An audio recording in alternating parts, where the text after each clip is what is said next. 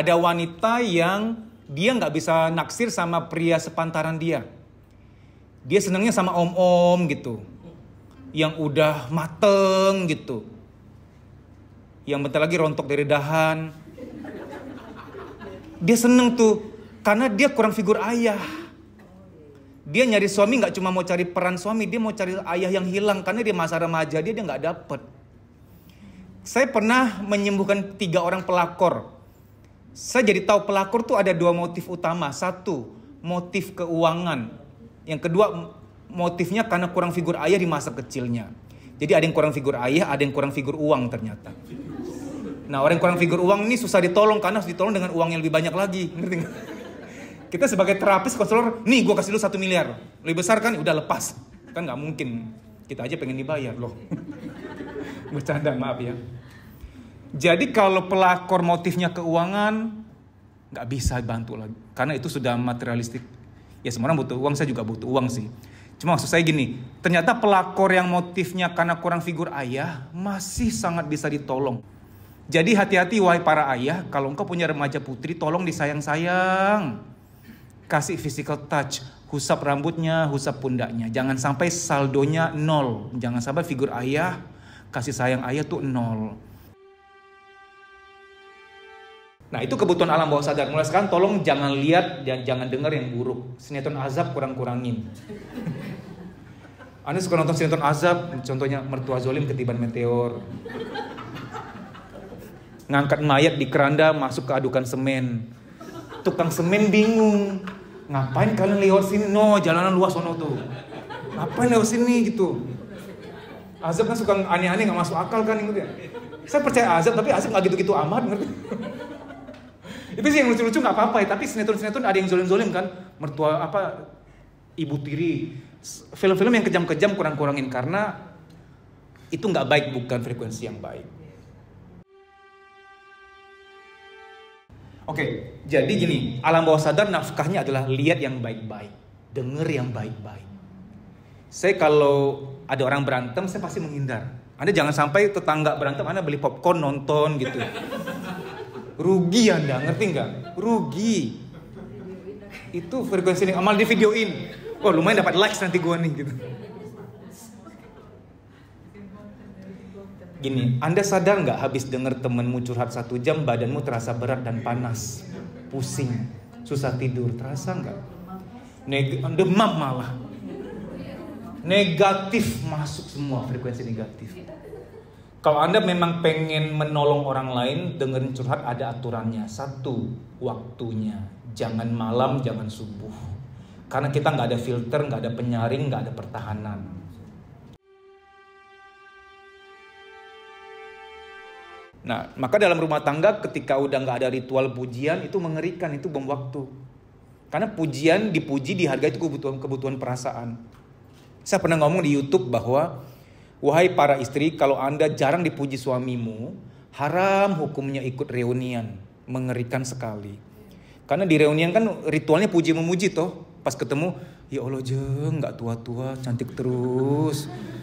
Kok awet muda sih ya ampun, cantik bener sekarang anda sebagai istri nggak pernah dipuji suami, Anda dipuji oleh japrak begitu langsung meleleh. Itu ibarat tetes air di padang gurun, ngerti nggak nih? Karena di rumah nggak dapet. Di rumah jangankan dipuji yang gimana-gimana, masakanmu aja nggak pernah dipuji gitu loh.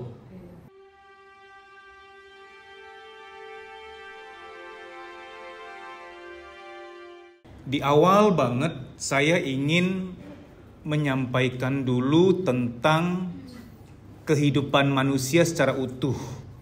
Karena nanti kaitannya kita di training hari ini mau ngapain sih gitu. Karena terapi nggak mungkin langsung terapi kalau nggak ada pengantar. Manusia itu terdiri atas tubuh, jiwa, dan rohani. Roh. Selama ini yang kita tahu hanya jasmani rohani. Berarti hanya yang paling kiri sama yang paling kanan tuh jasmani rohani. Jiwaninya kok nggak disebut. Malah mau ngelamar kerja HRD tuh uh, tolong Anda bikin surat keterangan sehat jasmani rohani ya. Loh, orang HRD kok bisa salah juga ya? Lalu pergilah ke rumah sakit tuh bikin surat keterangan jas sehat jasmani rohani. Pertanyaannya, apakah rohani bisa dicek? Yang tahu rohani kan cuma kita sama Tuhan, betul nggak? Masa dokter, perawat, petugas kesehatan bisa tahu rohani kita? Kan aneh. Kalau mau nyari kerja untuk rekrutmen, surat keterangan sehat psikologis, sehat mental, itu setuju saya. Lalu zaman dulu waktu saya kecil lebih kacau lagi, ada senam kesegaran jasmani. Tapi oleh instrukturnya waktu membuka senam, kita senam untuk sehat jasmani rohani ya. Sejak kapan gerakan senam bisa menyehatkan rohani kita? Maksudnya mungkin dengan banyak bergerak, peredaran darah lancar dengan gerakan senam tertentu, peredaran darah ke otak lancar, sehingga neurotransmitter kita lancar. Neurotransmitter itu apa? Kayak endorfin, melatonin, serotonin, Nah, melatonin itu yang bikin ngantuk. Kadang kalau kita nggak bisa tidur di malam hari, jogging-jogging ringan bisa bikin ngantuk tuh gitu.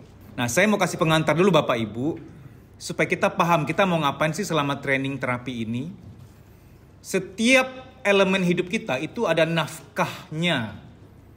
Tubuh atau jasmani, nafkahnya itu butuh dimandiin, butuh diolahragain, butuh tidur, makan, minum, ganti pakaian kalau pakaiannya sudah kotor. Itu nafkah buat tubuh. Butuh didandanin, maka skincarean itu skincare itu untuk menafkahi tubuh gitu. Olahraga, fitness, namanya juga olah raga yang diolah tuh raganya.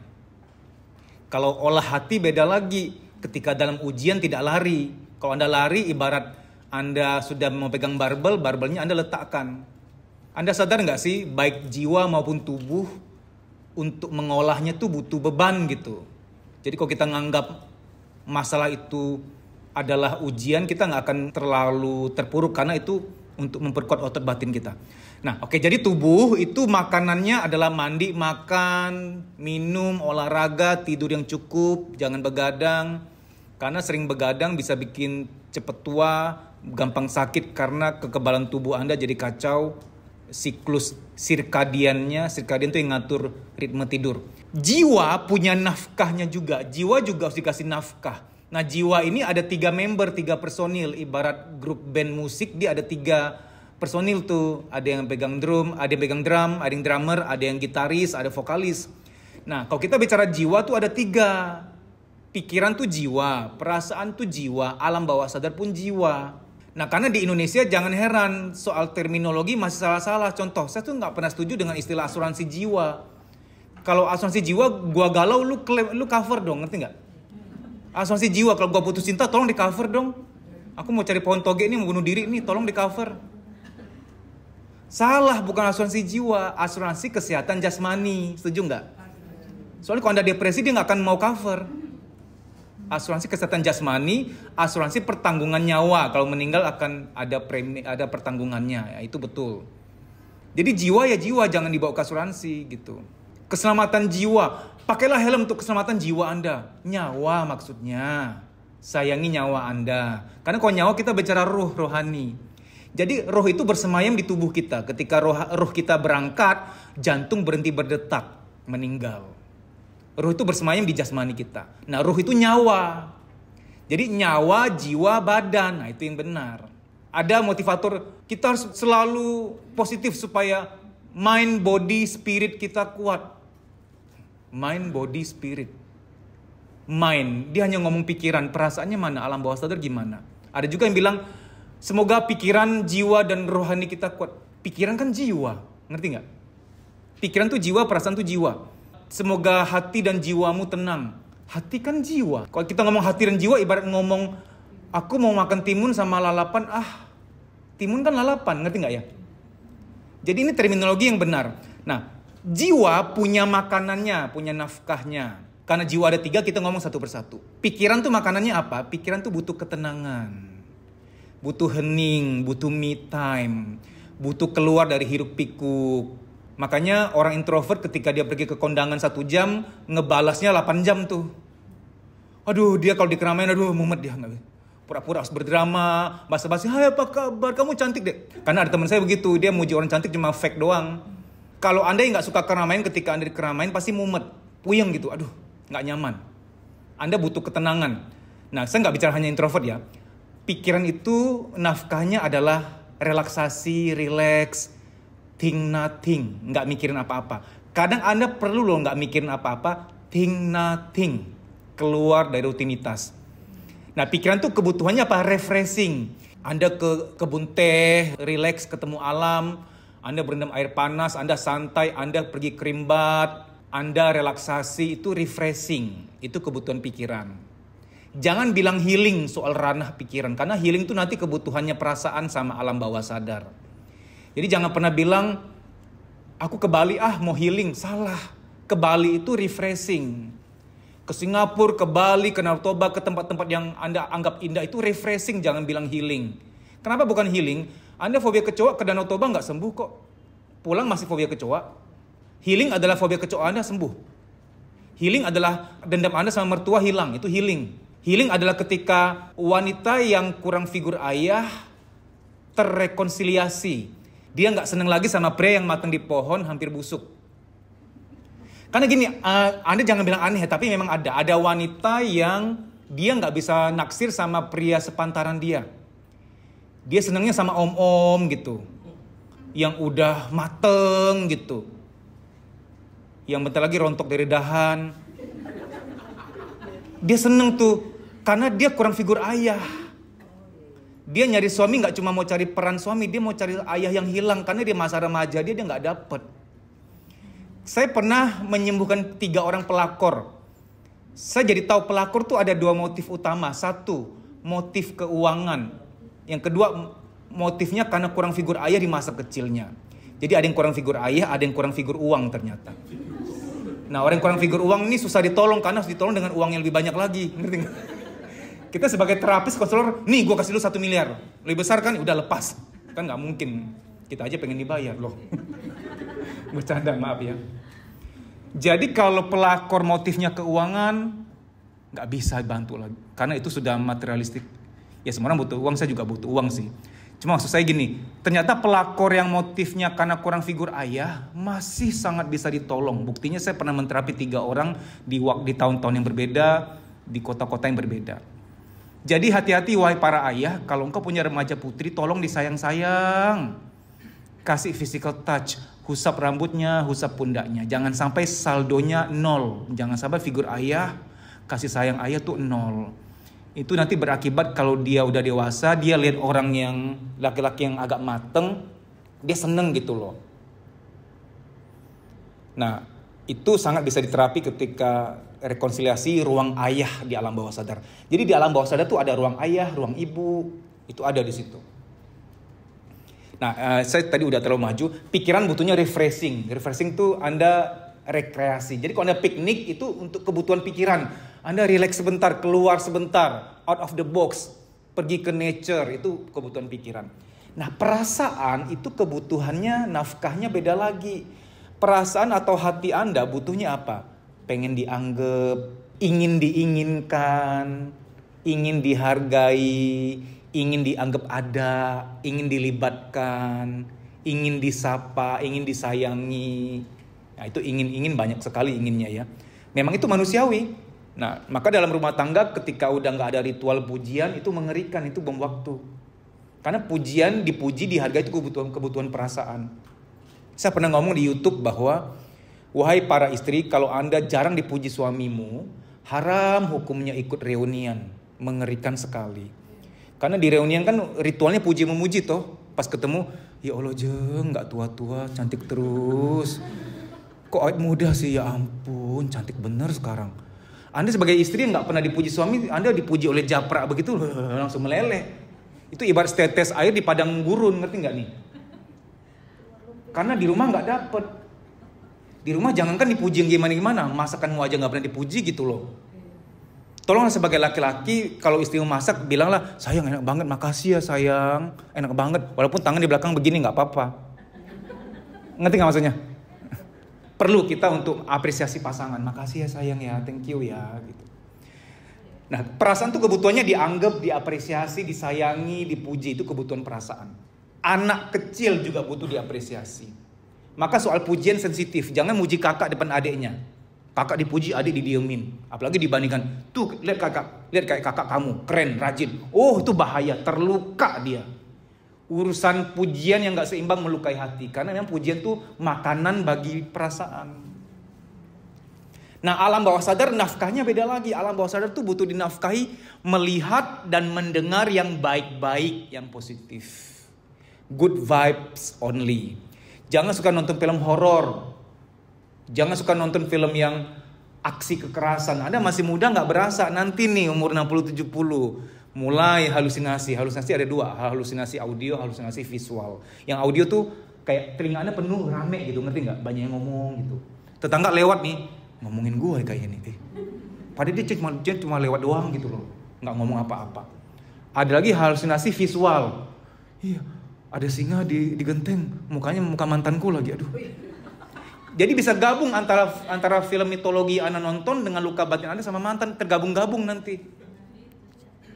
Sama dengan mimpi, orang yang suka nonton film horor, suka nonton film kekerasan, aksi-aksi kekerasan, mimpinya bisa nggak karu-karuan.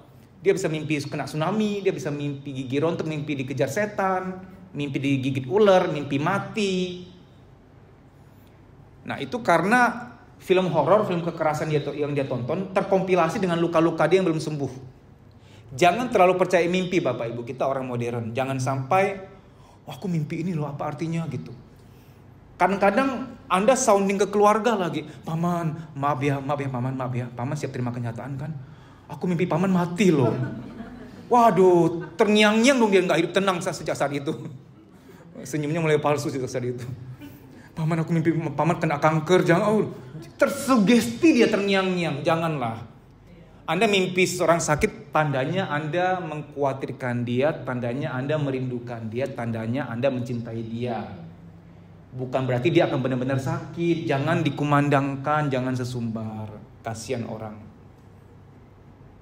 Makanya orang zaman dulu yang udah mulai berilmu sedikit menghibur kita. Kalau Anda mimpi Anda mati, berarti Anda akan umur panjang. Pernah dengar itu? Dibuat terbalik supaya itu artinya apa? Mimpi nggak sepenuhnya benar, setuju? Jangan serba diomongin. Karena gini, kadang mimpi itu kompilasi loh. Misalkan dalam hidupku aku pernah masuk ke supermarket buru-buru, terus karena buru-buru nggak ngeh aku nyenggol nenek-nenek belanjanya jatuh tuh berserakan di lantai. Aku merasa bersalah, aku bantu beliau pungutin, taruh ke kantung belanjaannya lagi, merasa bersalah. Itu kan masuk alam bawah sadar. Terus sekian tahun kemudian aku duduk di halte, hu lagi hujan, nunggu taksi, nggak datang-datang karena kalau lagi hujan mau pesan driver susah, naik taksi susah, lama berkepanjangan nunggu di halte hujan sambil lihat ada kulit pisang di keramik halte. Sekian tahun ke depan lagi pacaran sama cewek yang suka pakai baju merah terus, oh, doyan pakai baju merah. Semuanya merah. Pacaran tiga tahun, ternyata putus, belum ikhlas, belum move on, sedih. Nah, tiga kejadian ini oleh alam bawah sadarku kapan-kapan di malam hari tertentu bisa dikompilasi. Saya akan mimpi seorang nenek-nenek turun dari taksi makan pisang pakai baju merah.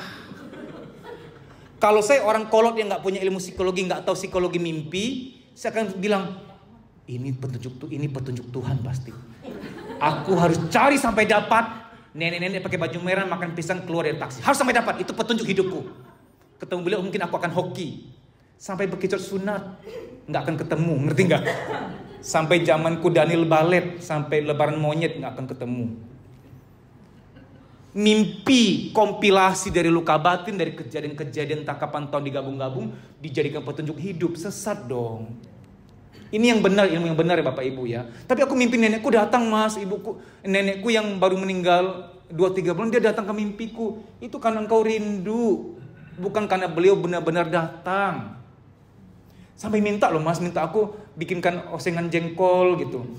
Ya karena Anda tahu, beliau suka itu, Anda rindu, Anda kangen. Kalau Anda mau mimpi nenek, gampang kok nanti malam buka semua memori tentang nenek, akan mimpi. Kadang apa yang kita pikirkan di hari itu muncul di mimpi kok. Orang yang perfeksionis, kerjaan dia belum kelar ke bawah mimpi loh. Mimpi ngetik masih. Mimpi lanjutin proposal, mimpi ngajuin ke bos udah bener belum gitu. Padahal belum dilakukan apa-apa. Nah itu kebutuhan alam bawah sadar. Mulai sekarang tolong jangan lihat dan jangan dengar yang buruk. Sinetron azab kurang-kurangin. Anda suka nonton sinetron azab, contohnya mertua zolim ketiban meteor. Ngangkat mayat di keranda masuk ke adukan semen. Tukang semen bingung. Ngapain kalian lewat sini? No, jalanan luas sono tuh. Ngapain lewat sini gitu? Azab kan suka aneh-aneh nggak masuk akal kan gitu ya. Saya percaya azab tapi azab nggak gitu-gitu amat ngerti?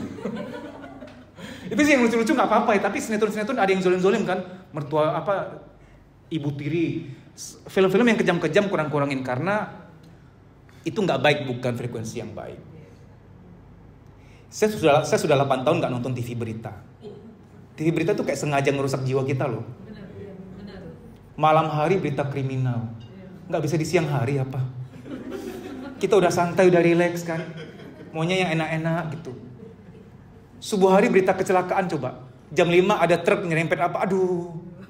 Subuh kita nyawa belum ngumpul, ngerti kan? Malam hari udah rilis, udah ngantuk nontonnya nggak bener. Mereka itu kayak sengaja ngerusak kita.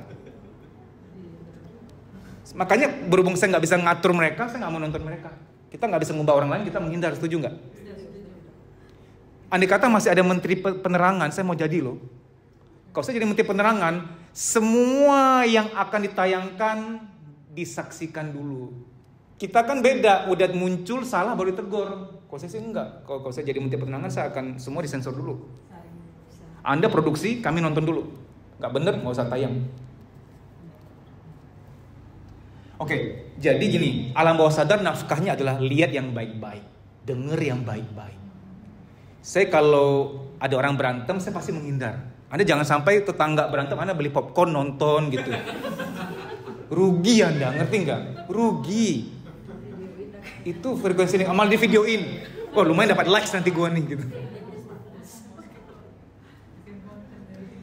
Gini, Anda sadar nggak habis denger temenmu curhat satu jam badanmu terasa berat dan panas, pusing, susah tidur, terasa nggak? Neg demam malah. Negatif masuk semua frekuensi negatif. Kalau Anda memang pengen menolong orang lain, dengerin curhat ada aturannya. Satu, waktunya. Jangan malam, jangan subuh. Karena kita nggak ada filter, nggak ada penyaring, nggak ada pertahanan. Siang, sore paling benar kalau mau melayani curhat. Yang kedua, frekuensi. Seminggu dua kali dengerin curhat sudah paling sosial Anda. Jangan terlalu sok sosial. Setiap hari denger. Jadi ini intermezzo saja, kita dengar orang curhat berkepanjangan nggak baik untuk diri kita. Dia lega, kita empet. Kapan-kapan Anda akan heran, Anda sampai mimpiin masalah orang lain loh. Gila masalah kita aja belum habis dimimpiin, ngerti nggak? Mimpiin masalah orang lain gitu. Energi negatif orang udah masuk ke kita. Udah ada tugasnya lah, gini loh. Kita curhat tuh mendingan sama Tuhan aja. Yang kedua, kalau memang mau ke manusia, ke manusia yang di assignment memang tugasnya sebagai tong sampah. Siapa? Psikolog, konselor, coach. Memang mereka memang di bidangnya itu. Kami kami tahu cara mendetoksnya. Oke, okay. rohani nafkahnya apa? Rohani itu kebutuhannya mendekat sama Tuhan, kajian ilmu, mengerti kebenaran itu kebutuhan rohani. Nah, kadang tiga ranah ini berbeda nih, nggak boleh disangkut pautkan. Contoh, Orang yang rohani yang suka sembahyang, suka berdoa bisa kena diabetes nggak? Jujur kita tolong jawab. Dan orang kok kena diabetes jangan pernah menghakimi nggak percaya Tuhan nih. Kurang ibadah pasti. Oh nggak bisa. Orang bisa rajin sembahyang tapi kok nggak jaga makan bisa sakit nggak? Nah, jangan menghakimi, oke? Okay? Rohani sama tubuh jangan digabungkan. Orang yang rohani bisa sakit juga kalau nggak jaga makan. Satu lagi, rohani sama jiwani jangan disangkut pautkan. Orang yang depresi belum tentu nggak percaya Tuhan. Jadi jangan pernah menghakimi, ih dia kok depresi kurang iman kayaknya. Nggak percaya Tuhan masa bisa depresi? Oh nggak boleh begitu. Ada buktinya bahwa rohani sama jiwani tidak ada kaitan. Kita olah logika ya. Kalau Anda punya teman SD, SMP, SMA, dari SD dia sudah fobia kecoa. SMP masih fobia kecoa, SMA masih. Kemarin tahun lalu reunian udah umur 40 tahun tuh masih fobia kecoa. Tapi Anda tahu dia tuh rajin ibadah, dia mah dekat, dia percaya Tuhan banget lah pokoknya. Saya mau tanya, mari kita berpikir. Andai kata kapan-kapan dia meninggal, masih dalam keadaan fobia kecoa, kira-kira fobia kecoanya menghalangi dia masuk surga enggak? Tolong jawab. Yang bilang bahwa dia akan ke neraka gara-gara fobia kecoa, siapa angkat tangan? Kulemparkan engkau ke neraka juga. bercanda nggak gue, maaf bercanda. Nggak boleh lah, nggak pantas. Saya yakin panitia pindah pindah alam tidak akan ngecek. Oh di CV kamu ada fobia kecoa, nggak pantas masuk surga. Nggak. Saya meyakini orang mau fobia apa? Fobia kecoa, fobia naik lift, fobia darah, fobia kucing garong. Perempuan kan banyak fobia kucing garong tuh. Fobia-fobia itu tidak membuat Anda terhalang masuk surga. Selama Anda percaya sama Tuhan, Anda baik, Anda beribadah, itu tetap punya tiket ke sana. Satu lagi, pernah nggak muncul di beranda IG atau TikTokmu ada orang yang maaf ODGJ sembayang di jalan? Itu pernah muncul di beranda saya. Saya baca komentar, ada yang kejam netizen komentar. Sholat hanya untuk orang yang berakal. Gitu tuh. Saya langsung balas. Komentar saya balas ke dia. Masih syukur dia ingat Tuhan, Anda belum tentu. Saya, saya nggak terima. Saya ngerti ibadah kan harus ada tata caranya membersihkan diri. Tapi orang yang ODGJ kita bisa harap apa sih betul nggak? Dia ingat Tuhan aja udah syukur, setuju? Kita nggak boleh menghakimi. Jangan-jangan kalau beliau meninggal detik itu ada koruptor meninggal detik itu koruptor yang masuk neraka nih, ngerti nggak nih? Dialah yang masuk surga. Karena mungkin jiwanya rusak, rohaninya tidak. Dia masih percaya Tuhan. Mungkin dia depresi, dia luka batin, dia menjadi ODGJ karena perasaannya rusak nih. Papa mamanya toksik, suka marah-marah, suka nyumpah-nyumpahin. Ketika menikah suaminya juga kasar. Mungkin hatinya rusak. Rohaninya enggak. Jadi nggak jangan pernah menghakimi, ih kok dia bisa gila nggak? Jangan. Saya pernah visit ke seorang wanita yang depresi. Kenapa saya visit? Karena dia nggak bisa ke tempat kami. Karena jangankan mau keluar rumah, Keluar kamar nggak mau. Tapi di kamar dia rajin sembahyang lima waktu lagi. Berarti memang kadang di konteks tertentu orang terganggu jiwanya belum tentu rohaninya rusak loh, enggak loh. Nah, gini ya, hari ini kita mau menterapi yang jiwa, yang perasaan sama alam bawah sadar. Karena pikiran itu hanya hilir, hilir tuh ibarat air terjun, hulunya itu perasaan sama alam bawah sadar. Pikiran tuh gini, orang yang belakangan suka mumet, pikun dini belum tua udah pikun nggak sekreatif dulu suka bengong kan pikiran tuh suka nggak connect lola loading lama. Itu karena ada yang ngeheng di belakang perasaan alam bawah sadarnya penuh. Jadi kalau HP anda suka ngeheng nih jangan berprasangka udah rusak harus ganti. Bukan rusak kepenuhan banyak kebanyakan foto mantan. Tolong dihapus-hapusin. Eh bener loh WhatsApp tuh galeri-galeri fotonya kalau dihapus lumayan mengentengkan loh. Pernah nggak? Coba tuh masuk ke bagian video mana yang nggak penting buang-buangin. Yang udah diedit yang udah jadi cakep jangan. Kadang pikiran suka ngeheng loading lama nggak seproduktif dulu nggak sekreatif dulu karena lagi penuh memori. Memori manusia ada di mana? Ada di alam bawah sadar. Siapa yang pernah nonton film kartun Inside Out? Angkat tangan Out itu film kartun mungkin anda lupa tapi anda tahu yang ada sosok namanya Joy rambutnya purple kalau nggak salah ya Joy. Ada temannya yang si angry si anger tukang marah ada yang nasty ada yang sedih. Set. Inside Out kartun. Itu seru. Itu menggambarkan kejiwaan manusia. Ketika masuk ke alam bawah sadar kayak perpustakaan besar. Di perpustakaan itu perpustakaan alam bawah sadar setiap memori satu tabung. Ngerti nggak tabung, tabung. Ketika dia sentuh, ingat apa, ingat apa. Baik Bapak Ibu, kita akan mulai terapi.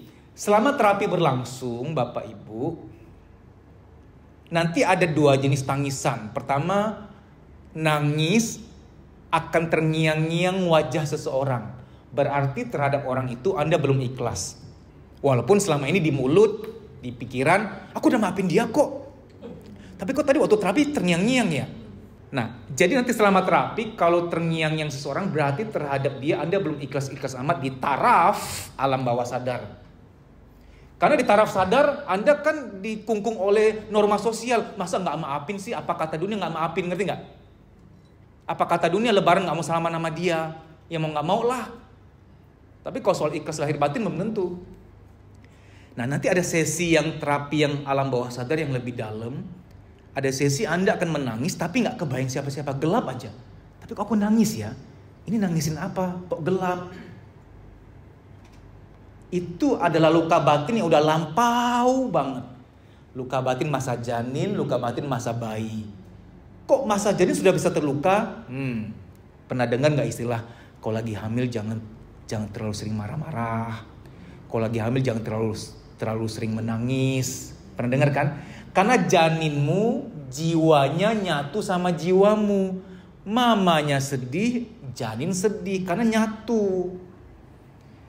Maka semua dokter anak menganjurkan dokter kandungan juga kalau ada suami mendampingi istrinya konsultasi untuk cek kehamilan, Pak sering ajak ngobrol si dedek dalam kandungan. Karena emang janin sudah bisa bereaksi, punya jiwa. Bu, kerjain matematika, jangan males biar mengasah otak, kan stimulasi sudah dimulai. Dengerin musik Mozart, dengerin musik klasik, pernah denger gak? Karena stimulasi sudah mulai, diajak ngobrol. Bu, kalau mertuanya zolim pindah aja. Ternyata pondok mertua indah nggak indah. Pindah aja karena selama hamil kalau tertekan nggak baik buat janin. Pernah dengar itu? Itu semua membuktikan janin sudah punya jiwa. Nah, selama terapi nanti berlangsung, ih kok aku nangis mulu ya, tapi kok nggak terbayang apa-apa ya. Berarti aku ada luka batin masa janin. Mungkin dalam kandungan pernah mengalami mamaku terlalu sedih dan sedihnya transfer ke aku. Aku juga ikut merasakan. Atau mungkin ada penolakan-penolakan. Hati-hati ya, pernah dengar nggak? Kalau lagi hamil jangan sembarang ngomong. Pernah dengar? Jangan sembarang ngomong. Contoh, ada ibu-ibu lagi hamil nih, dijemur pakaian, tetangganya mungkin dari luar kota udah lama udah nggak lama nggak bersua dua tiga bulan nggak di rumah. Pas kembali eh jeng isi lagi hamil lagi nih. Nah si ibu mungkin bercanda iya nih di luar program kebobolan. Oh nggak boleh ngomong gitu. Janinmu merasa tertolak. Yang harusnya apa? Alhamdulillah puji Tuhan disyukuri. Jangan ditolak. Banyak anak remaja sharing ke saya om heran ya padahal mamaku tuh baik sumpah baik Cuman kok aku nggak pernah bisa deket loh. Kenapa ya? Tapi mamaku nggak pernah. Jahat sama aku tuh nggak pernah baik. Cuman untuk aku yang bisa deket mama, untuk manja-manja kok gak bisa gitu loh. Kenapa ya? Nah, itu ada penolakan dalam kandungan. Luka batin yang dalam urusannya kadarnya alam bawah sadar. Atau lagi hamil nih, ini cewek nih. Semoga cowok. Atau cowok semoga cewek. Hmm, tersugesti, tertolak juga udahlah cowok sama cewek itu semua sama sama-sama anugerah setuju? Gak usah lah mengharapkan cowok atau cewek. Semua itu takdir. Ini sedikit informasi saja. Bagi anda laki-laki tapi merasa feminin ada kemungkinan dulu terlalu diharapkan cewek. Kebalikannya anda seorang wanita tapi kok aku kayaknya tomboy banget ya jiwa maskulinku. Nah selama ini kan dipahami aku berada pada raga yang salah. Enggak kamu hanya tersugesti di masa kandungan tertolak kok. Dan itu bisa disembuhkan Nah, jadi nanti selama terapi berlangsung, kok aku nangis melulu ya, tapi nggak kebayang apa kok gelap. Kenapa bisa gelap? Pikiranmu mencari-cari, ini luka yang kepada siapa ya? Aku luka sama sama siapa? Pikiran sering tidak tahu luka-luka yang sebelum dia ada. Pikiran tuh baru ada di masa kanak-kanak 4, 5, 6, 7, 8. Sebelum itu pikiran belum tumbuh. Contoh bayi, bayi apakah punya pikiran? Bayi nggak akan ngerti soal saham, bayi nggak akan ngerti mamanya marah karena lagi capek. Yang bayi tahu mamanya marah, mama jahat, ngerti nggak? Seprimitif itu. Ada banyak luka yang terjadi di masa bayi, masa balita, yang di mana pikiran belum tumbuh. Pikiran itu ibarat orang baru. Orang baru nggak akan tahu peristiwa-peristiwa lama. Nah, kenapa saya cerita panjang lebar Bapak Ibu? Nanti selama terapi berlangsung, kalau saya nggak kasih tahu ilmiahnya dulu, Anda takutnya Anda jadi cemas. Ih, kok aku nangis mulu? Nggak jelas lagi nangisnya. Nggak tahu nangisin apa nangis aja tapi gelap gitu. Jangan-jangan sekte-sekte aliran sesat nih. Ini praktek perdukun aduh pulang pulang sering pulang pulang. Anda pulang anda rugi. Padahal luka-luka batin yang tersembunyi itulah yang menyebabkan selama ini sering mood swing suka marah-marah nggak jelas. Kalau lagi di kafe tuh nongkrong kayak pengen nangis. Anda bingung ini mau nangisin apa sih? Karena masalah apa pak? Anda meninjau 360 derajat karena apa apa kok Setan kali ya, setan lagi di fitnah. Kasihan setan di fitnah lagi. Kadang saya orang merukiah orang lain ya. Keluar setan, keluar dari badan, keluar dari badannya. Dalam hati saya mungkin setannya ngomong, gue lagi di luar kata setan. Fitnah aja lu, gue nggak di situ. Contoh ya, ada perempuan nggak mau nikah, di, dirukiah dengan redaksi, keluar setan dari badannya. Saya berani yakin, saya berani jamin wanita yang nggak mau nikah citra pernikahan di alam bawah sadarnya rusak. Akibat papa mamanya sering berantem depan dia. Atau akibat mamanya sering disakiti oleh bapaknya. Mamanya sering curhat soal dilema kepahitan pernikahan kepada putrinya. Sehingga rusak nuansa pernikahan bagi putrinya. Pernikahan itu neraka aja ngerti nggak? Kita akan mulai terapi. Eh, bapak ibu saya minta kerjasamanya HP-nya mohon di silent karena pernah di sebuah kota pas lagi husuk-husuknya terapi ada ringtone cucuk rowo coba. Kan kacau ya aduh. Saya tuh tetap, tetap harus elegan jangan marah kan berat dia jadi saya gitu. Coba dicek yuk coba cek sama-sama ngecek HP yuk. Jangan sampai ada ringtone yang aneh-aneh gitu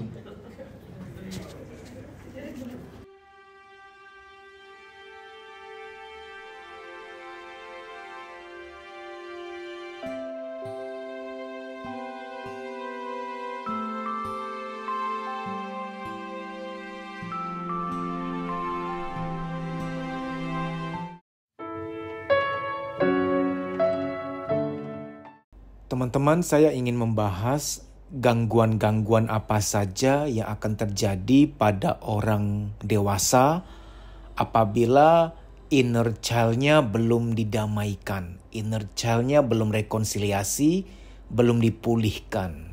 Apa itu inner child?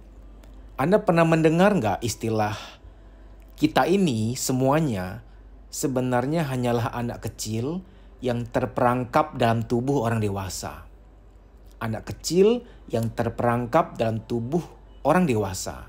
Sedewasa apa pun kita, pasti ada teriakan, ada tangisan, ada kehampaan yang masih dialami diri kecil kita. Entah diri bayi, diri balita, diri kanak-kanak, diri remaja kita. Semua kesedihan atau kekecewaan, kehampaan inner child itu tersimpan di alam bawah sadar perlu teknik khusus untuk masuk ke alam bawah sadar untuk mengakses rasa dari si inner child ini. Apa dampaknya apabila inner child belum diterapi? Dampaknya bagi kehidupan orang dewasa itu seperti apa? Saya akan berikan beberapa contoh karena kalau semuanya saya paparkan bisa panjang sekian jam video ini. Ada orang yang di masa kecil dia kekurangan figur ayah terutama apabila ini dialami oleh seorang wanita seorang anak perempuan dia kekurangan figur ayah. Sehingga inner child-nya entah rindu atau marah kepada sosok ayah itu. Berbeda-beda ya, ada anak perempuan yang karena dia kurang figur ayah, dia rindu akan sosok ayah. Sehingga dia ketika nanti dewasa, dia nggak bisa naksir sama laki-laki yang sebaya dengan dia atau bahkan lebih muda.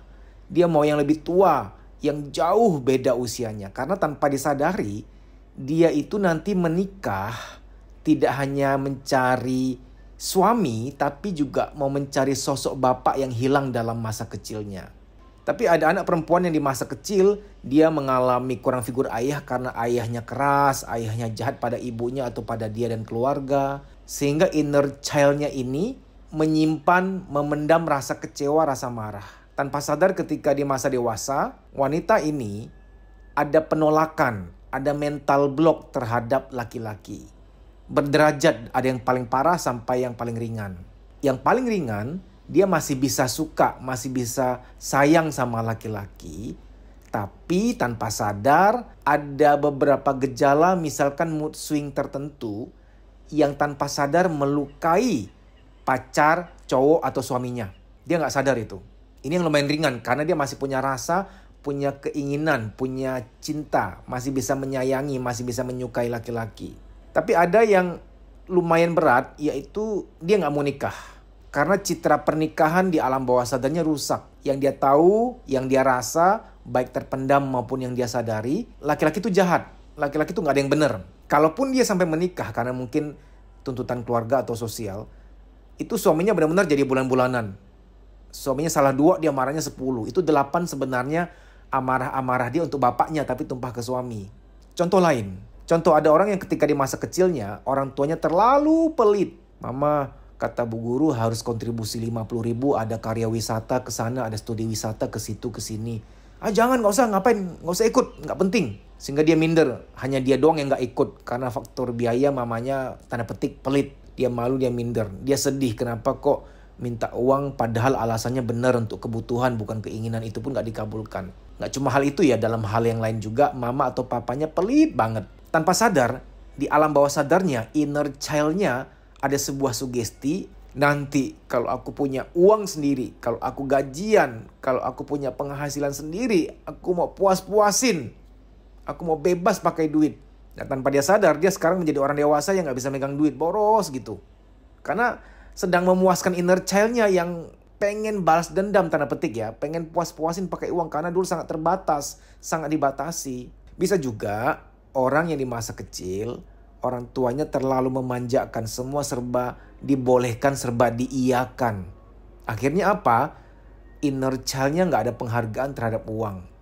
Jadi dalam ilmu parenting nggak boleh berlebihan. Jangan terlalu pelit, jangan juga terlalu menyediakan apa-apa disediakan sampai-sampai anak tidak tahu cara berjuang, nggak menghargai proses perjuangan, nggak menghargai nilai uang. Contoh yang lain, ada orang yang di masa kecilnya orang tuanya terlalu otoriter, terlalu memaksakan kehendak, sering marah-marah, sering menghakimi. Sehingga anak ini di masa kecilnya, dia selalu merasa tertolak, merasa nggak pernah disetujui, nggak pernah didukung, nggak diterima. Dia sering merasa tertolak, merasa nggak dihargai, merasa nggak diterima. Tanpa sadar, inner child-nya mengalami haus atau lapar akan penerimaan. Di masa dewasanya, tanpa dia sadari, dia akan sering gak enakan sama orang. Serba mengiyakan. Orang minta apa, orang minta tolong apa, orang mengharapkan apa. Dia selalu akan memenuhi walaupun dia sadar itu terkadang merugikan dia. Tapi dia gak bisa menolak. Dia selalu menjadi a yes man, a yes woman. Selalu mengiyakan. Sehingga dia kayak plin-plan dan gak enakannya tinggi. Rasa gak enakan tuh wajar dan manusiawi. Tapi kalau rasa gak enakannya Anda terlalu berlebihan, sehingga Anda selalu mengiyakan, selalu ingin menyenangkan orang lain, Anda selalu mengalah, nggak punya prinsip, takut untuk menolak orang lain. Yang sebenarnya terjadi adalah inner child Anda haus atau lapar akan penerimaan, sehingga tanpa sadar Anda merasa bahwa kalau saya bisa menyenangkan orang lain, saya akan diterima, saya akan dihargai. Kalau saya memenuhi keinginan orang lain, saya akan merasa dianggap, saya akan merasa dihargai, saya akan merasa diterima, saya akan merasa berharga. Karena dulu di masa kecil, rasa-rasa ini nggak terpenuhi. Anda sering tertolak, sering dihakimi, nggak dianggap, nggak merasa diinginkan oleh orang tua. Ada orang yang di masa dewasanya selalu takut, takut gagal, takut salah, sehingga dia cemas, dia anxiety. Salah satu penyebabnya adalah di masa kecilnya inner child-nya ini dipenuhi ketakutan. Orang tuanya ini tipe yang salah dikit dimarahi. Dia merasa insecure, dia merasa nggak aman. Bagi si anak, salah berarti adalah akhir dari dunia. Keliru, salah, gagal, tidak sesuai dengan arahan orang tua, itu bagaikan akhir dunia, sangat seram sekali, sangat menakutkan. Di masa kecil mengalami insecure, rasa nggak aman, rasa takut berlebihan. Sehingga tanpa sadar dia tumbuh jadi orang yang selalu cemas, anxiety, takut, gelisah.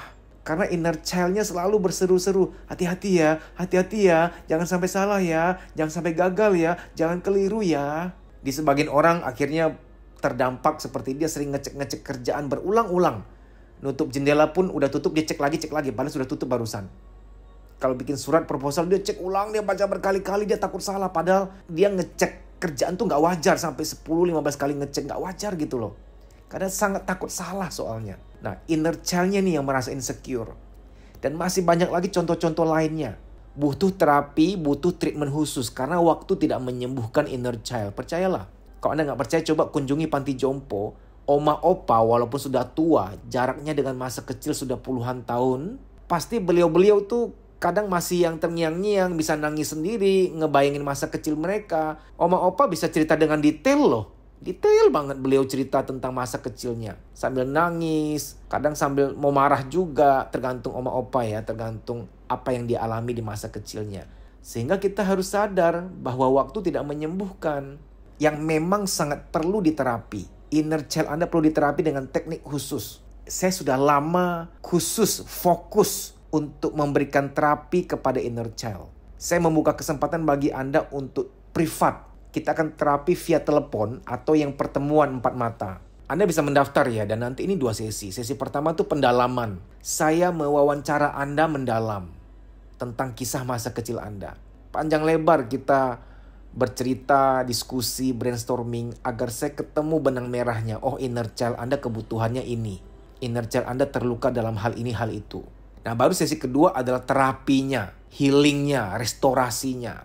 Anda bisa mendaftar untuk ikut sesi private coaching baik via online, WA call, telepon WA, atau melalui pertemuan empat mata. Anda bisa WA ke 0858 1446 1446 0858 1446 1446 dengan cara WA nama Anda, spasi usia, spasi lokasi. Spasi Anda mau via online atau via pertemuan. Semoga bermanfaat. Sampai jumpa.